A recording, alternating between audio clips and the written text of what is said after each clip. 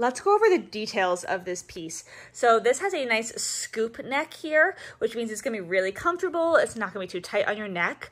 The sleeves have a nice wide elastic and it kind of bellows out here on the sleeve for a nice like poofiness on your sleeve. The bottom of the top does not have any elastic, so it's just a clean cut here and it's a crop.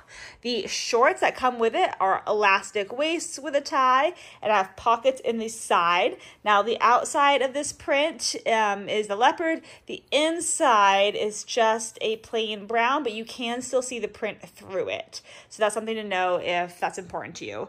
Um, this is a very comfortable set, really, really soft. So I highly recommend this one.